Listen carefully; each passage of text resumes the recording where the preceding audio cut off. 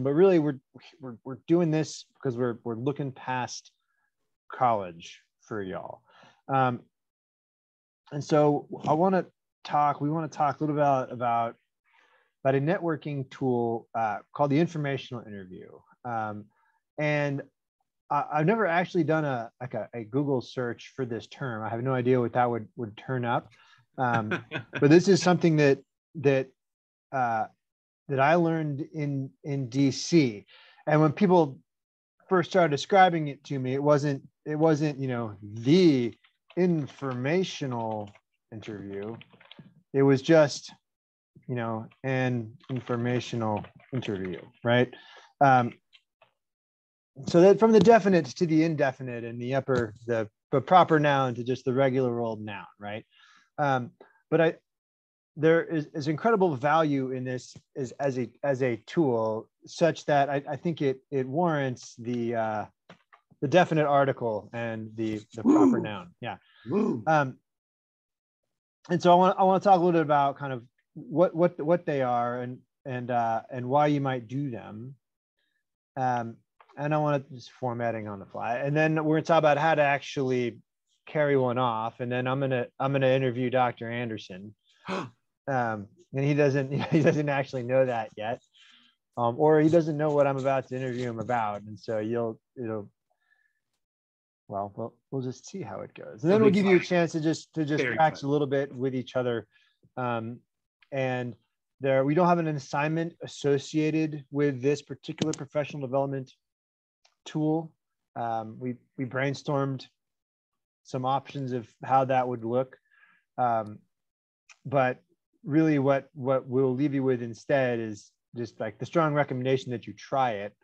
And maybe we can um, make a little canvas support discussion group. And if people try it we can then come back and maybe do a little class time to to uh to doing a post-op and, and seeing how how they go. So an informational an informational interview. And by the end of this um, informational will be like visualization. I won't be able to say it anymore. Um, so so what is this? So this is basically a way of getting to meet someone whose connection to you might potentially someday be valuable in your career. So, if you're interested in working in environmental consulting, this is a way for you to meet environmental consultants. So, what it is not is an interview to get a job. It is not an interview to ask for a job. It is not an interview to ask if someone's hiring. It is an interview where you can get information about people and career paths that seem interesting to you. So, as an example, we'll go with environmental consulting. Say you want to get a job at a local environmental consulting firm you happen to know that some ESRM alums have graduated from our program and gotten jobs. You connect with them through Dr. A or myself or another class. And you just, so say that's where Sean is now, you just reach out and you'd say, I'd love to have an informational interview with you. I'm, I'm, I'm really interested in the career path that you've taken. And I'd love to just ask you a few questions about how you got to where you are and what you like about it. I think hearing this from you would be really beneficial to me as I sort of contemplate the next steps in my career. And you're gonna you're gonna pair it a little bit with like like the pitch for yourself, the elevator pitch we're gonna talk about later. But you are essentially asking these people to talk to you about themselves, which is everyone's favorite topic. um, and so why would you do it this way? Well, it, it turns out it, a is everyone's favorite topic, but it's also really un, it's really like non-threatening. It's a little bit ego stroking, um, and it's not contingent on anything other than maybe a little bit of their time, um, right? So if instead you emailed and said, "Hey, I'm really interested in environmental consulting. Like, I'd love to know if there are like any jobs at your company, something like that."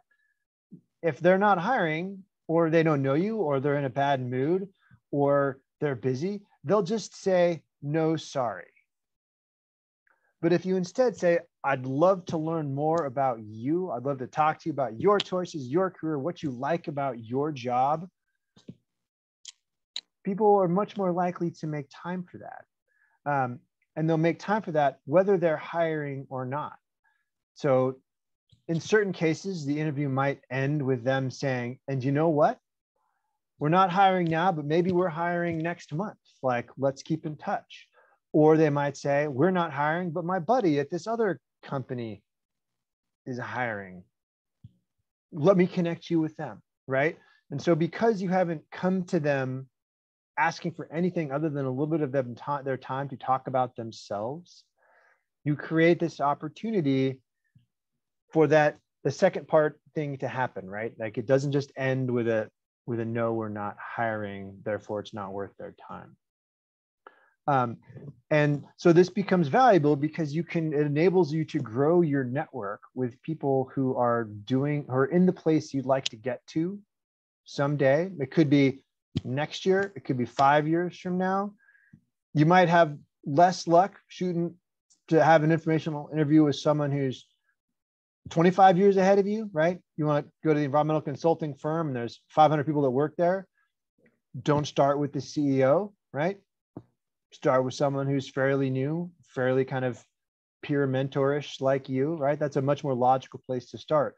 But the result's going to be that you're going to you're going to grow your network um, because you're going to you're going to develop a connection with this person. One of the things you always ask at the end is, could you recommend a few colleagues that I could and help me connect with them so that I can have conversations with them too, right? You're collecting information about these possible careers, and gradually you're gonna you're gonna grow your network like this.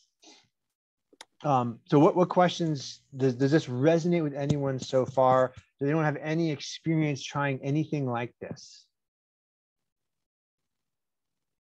The only face I see is Dr. A. His brow is furrowed. Ooh. How, unfor- how unfortunate.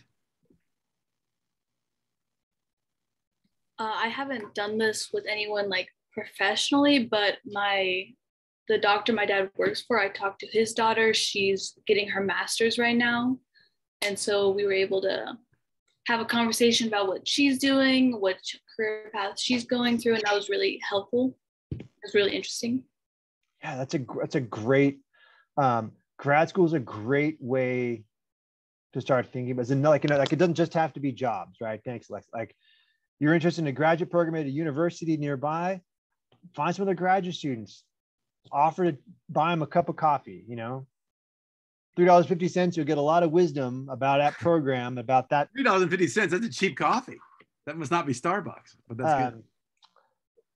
Uh, well, I won't mean it's certainly not a beer, right? Um, but like you get a lot of information from them in that setting that you would not get if you like went to the website and read about the program or talked to like the admissions people, right? And it's the same thing, right? If you call like the admissions office and say, I'd like to get a spot in this program. What do I do? It's a, it's a really different, uh, it's a really different tone than if you talk to a student like, hey, I'm really interested in being a student like you in this program. I'd love to know your experiences about it, what it was like, what you think you're going to do with it. I'm trying to figure out if it's the right step for me, right? Um, who else? Thank you for sharing, Alexa.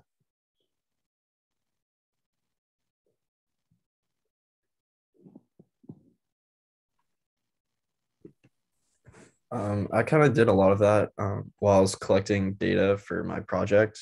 Since our project isn't really like um, too experimental, it's more of like actually talking to people and gathering data that way.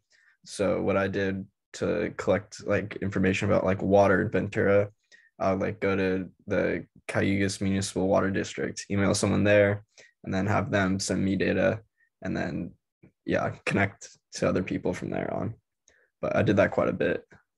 Yep. Chain chain referral becomes sort of the valuable tool here for like growing that network. It's really, really can be really, really effective. Um, there, it's one of those things where there's there's no reason to um, to to wait to start doing this.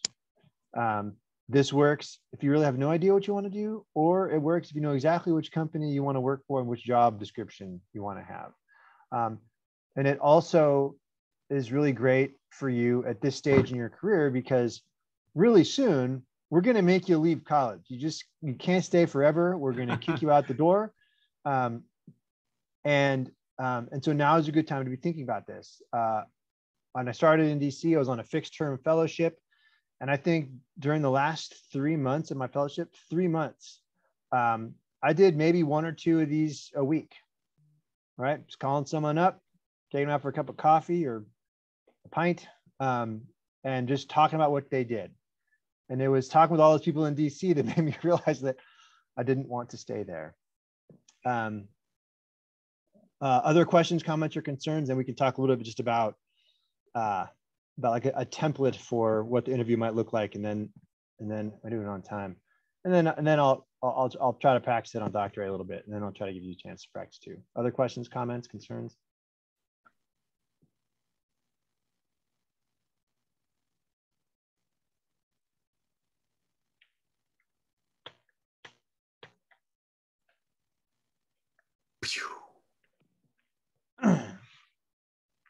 So there's there's a, there's a few things that that you want to make sure that you're thinking about.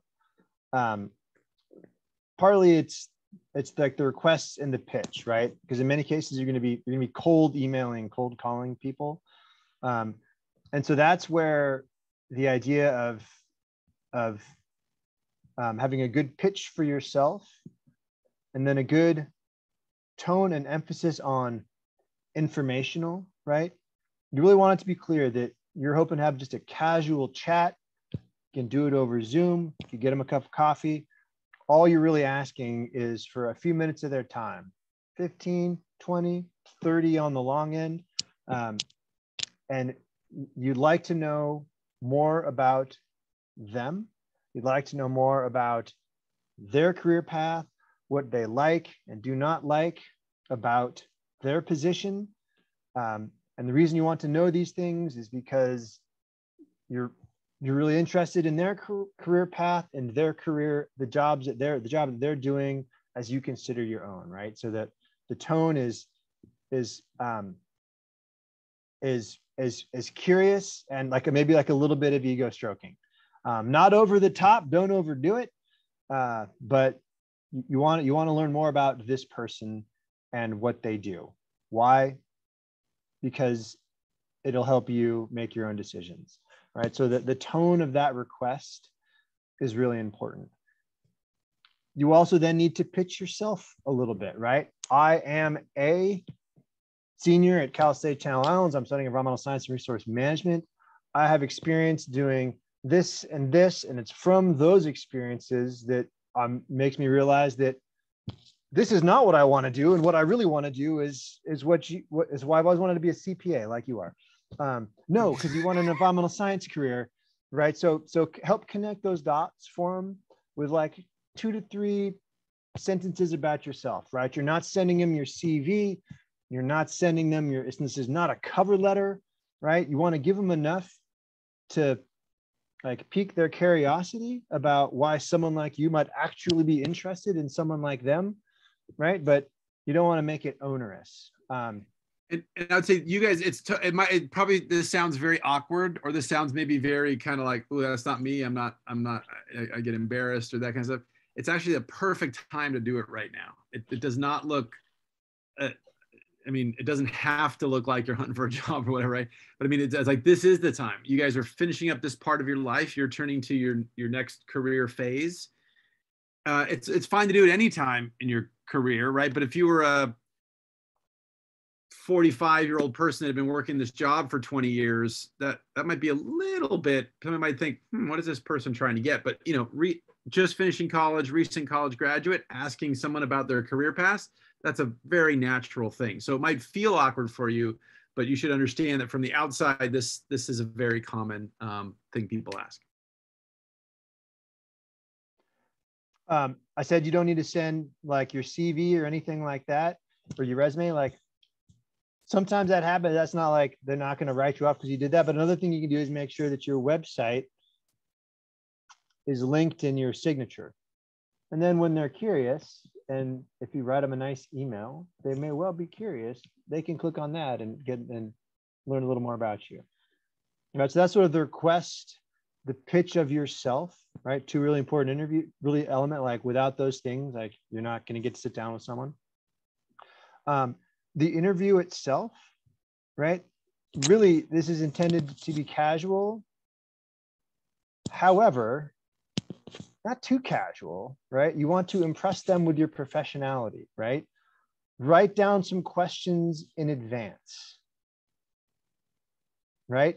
Make it clear when you're interviewing them that you're actually working from a real list of questions because you have prepared to have this conversation with them, right?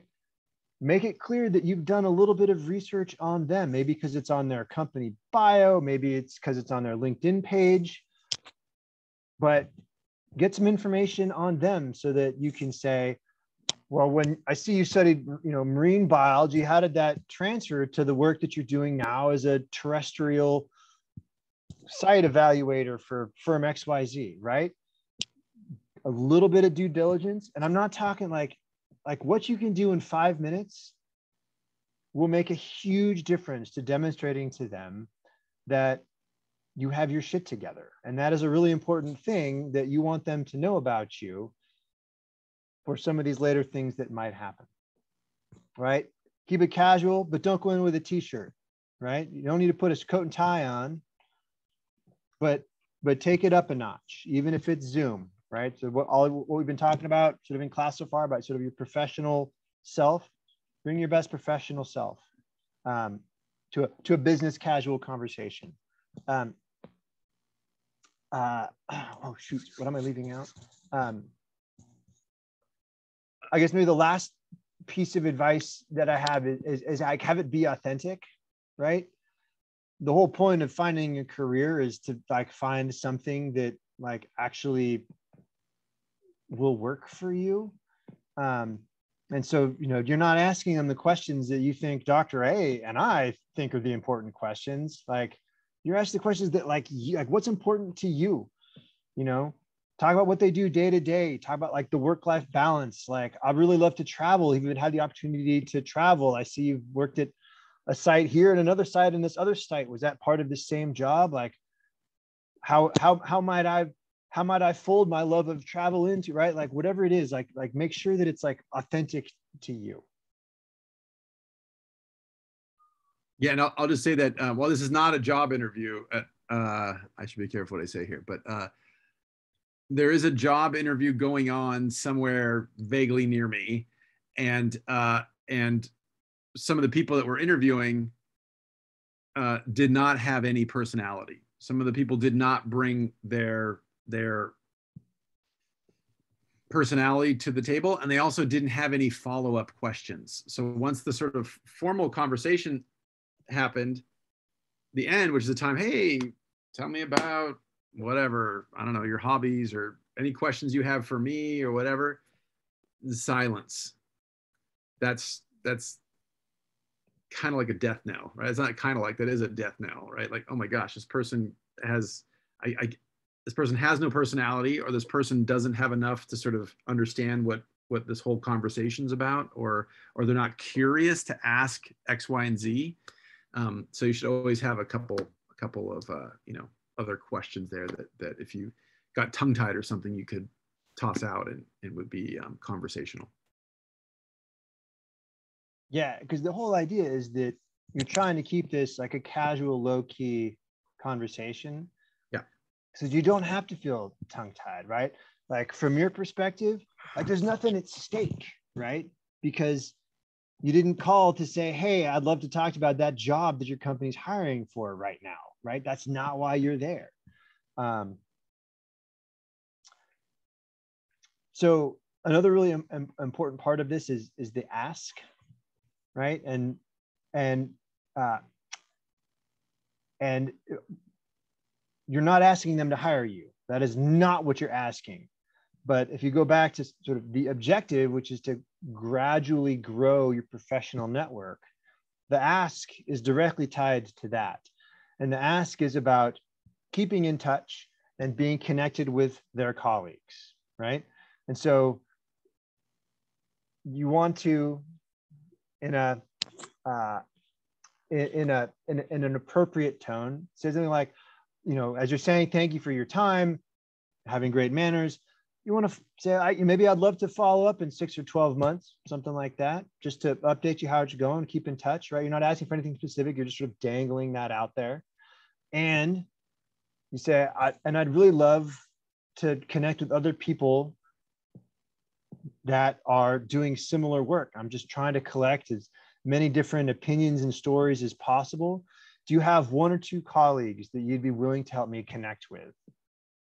If so, what and what are their names, right? And so like th- that's the ask. The ask is that this relationship does not end forever when you walk out the door.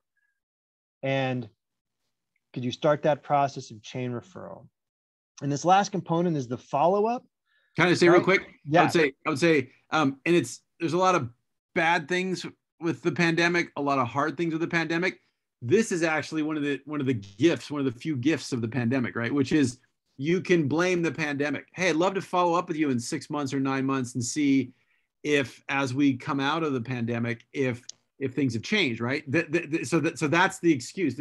Excuse. I don't know if that's the right term, but but that's the justification for reaching out, right? It, uh, way easier than if we were just in the in the normal times, whenever those were, um, right? And then you're kind of, uh, yeah. So can I reach out in six months? But by bracketing it to the current conditions, that seems a much more natural um, a request, in my my opinion. Um, Angelica, I'll come back to your question in just a moment, um, and I'll just sort of um, continue what Sean's saying about the follow up. Is that after you have this conversation with them, you damn well better follow up to, at the very least, thank them for their time. If you can contrive a way because you like have a mailing address for them at their company to do this with an actual thank you note, one or two sentences on paper, they will remember you forever.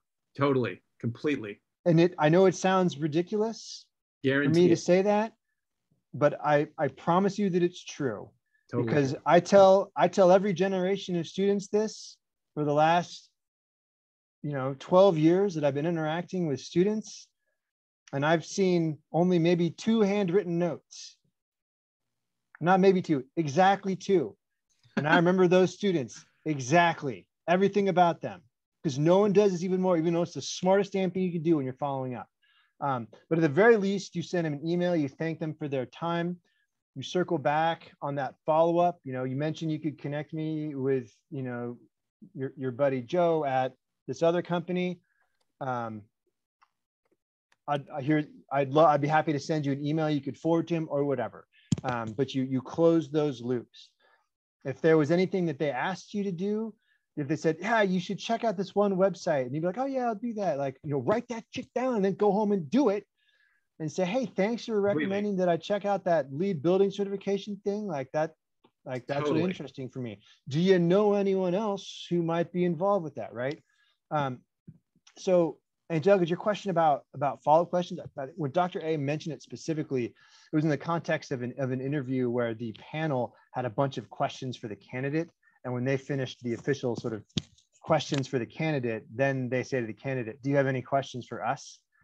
And the candidate, the candidates failed to come through with anything crickets. Um, crickets. crickets. So you always want to have something there, but in, in this case, most of the questions are originating from you. Um, and so insofar as there's follow-up, it's you could really your goal here is to have a conversation because that's how you develop connections. Right. You're trying to network, you're trying to grow your sort of connections professionally. And if you just sort of go and you wrote, ask them, um, please tell me about your educational career and how it relates to your current job duties and they tell you some things and you're like okay thank you next question right you're not you're not building rapport you're not developing connection right you're just collecting information and that's part of the goal but the main goal is you're you're, you're doing this as, as as a way of sort of developing your network um, any any questions about this so far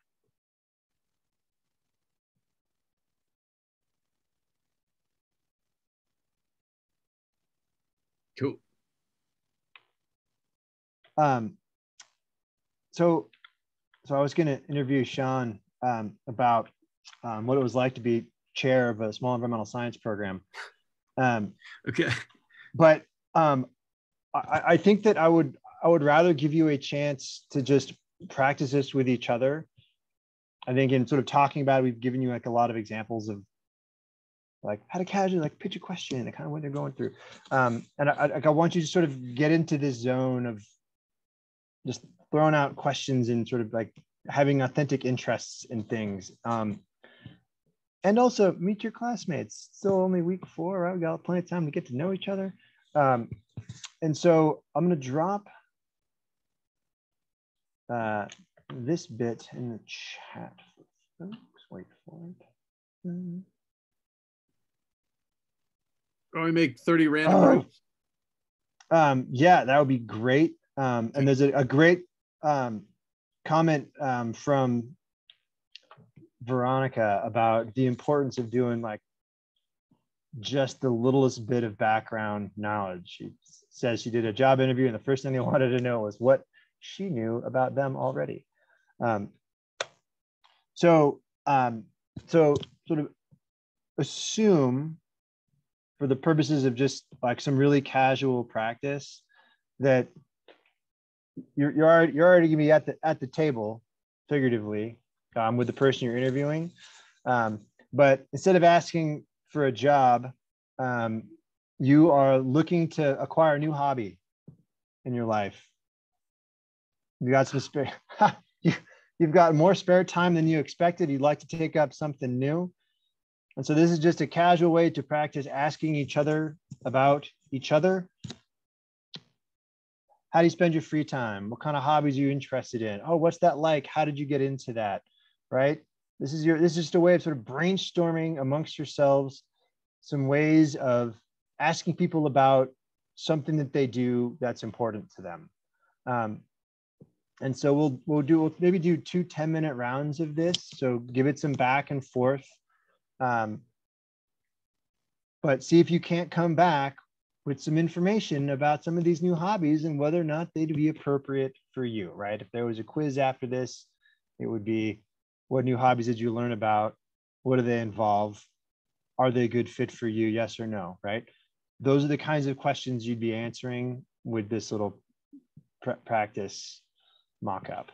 So the, only thing that'll make us a little bit of a hiccup is one of our groups, our, our, our Tidewater Goby group is in the lab. And so there's three people on one computer. So maybe you, two of you guys could talk to each other, but then the third, whoever, maybe they could jump on their phone and just go to the other side of the room right now so that you could jump on, so that you could join one of the um, uh, respective uh, groups while, while we're uh, finishing the prep here. Um, I'd also ask you guys to please, please, please, please, please practice this for real. So all those things we mentioned before about, you know, close to the screen so people can see you, uh, uh, a little bit of smile as they're talking, a little bit of nodding, you know, that, that sort of positive enforcement um, that, that you're actually hearing what the other person is saying. Um, all of that should be what you always do, but this is a perfect chance to model that. Um, and if for some random reason you you happen to jump into a that randomly assigned you to assigned it wow assigned That's you to a room that your best bud is in there uh, just pop on out and ask us and we'll we'll randomly um, toss you into a different room yes rihanna swears she's smiling she's super smiling underneath her mask super smiling so yeah great awesome um, and with that unless Dr. Ryman has other suggestions, I guess I'll open the rooms. So uh, let's see what time. uh, So I it's a it's uh so we're gonna do 10 minutes. So we'll do the first one. We'll pop out a we'll pop out a um A one minute warning. A reminder that it's time to switch, and then we'll pop out a reminder when we're like a minute or two away, and then we'll bring everybody back in in uh, uh, 20 minutes from now. Cool. Any questions? Okay, opening all the rooms.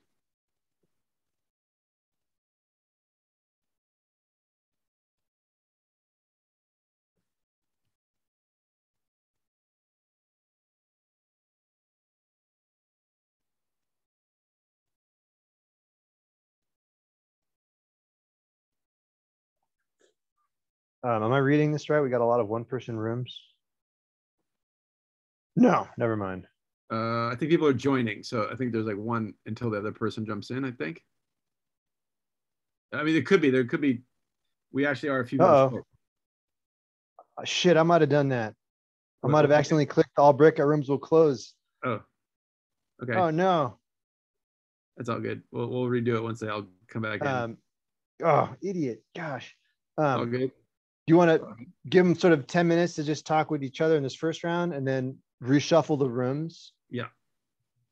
So we'll actually bring them back. We'll give them five minutes. That's like halfway through. And then a close in a minute. Wait. So, but then that way, some people might not have the chance to be both sides. That's okay. That's okay. Okay. Got a few more seconds left. They're kind of learning about each other's hobbies. This is Okay. Sorry, I totally screwed the pooch on that. It's all good. Oh, except for all these people that were like, "We're not leaving. They're still here." Yeah, Okay. that was that was me. I Everybody's the- back in. We're, we're gonna we're gonna redo the room. Sorry, there's a little logistical thing. So give me give me one second to re uh, create some there was a logistical thing, but then I hit the close all rooms button on accident, and it turns out that Zoom doesn't have a cancel to close the rooms button. Just just put my hands up here now. Hey, when I tried joining my room, it logged me off of Zoom. But now I can That's see new. that it says I'm on here twice. Wait a what? Oh yeah, look, there are two of you. I have no idea how that happened. I'm gonna remove one of you. Oh, you're gone. Uh do the one that has the number in front of it. Well, I did the one that didn't have your face on it. Oh my God, you're Yeah. not you're not here anymore, Dorian. You're not here. You're just completely erased. Oh my God. Okay, trying it again. Have rooms. Theoretically, it should be two people in each room. If something's weird, or if you're only one person, we'll we'll, we'll check out, maybe move some people. But but we're gonna do 10 minutes. Then we're gonna recreate new rooms after 10 minutes. So you're not necessarily gonna talk to your bud and then you you take a turn. So, uh, but that's what's gonna happen. Ready, set, ask about hobbies. 10 minutes. Ready, set, go.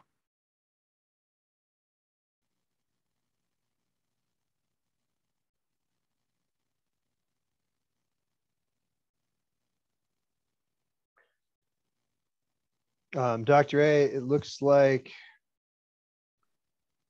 it looks like there's a couple.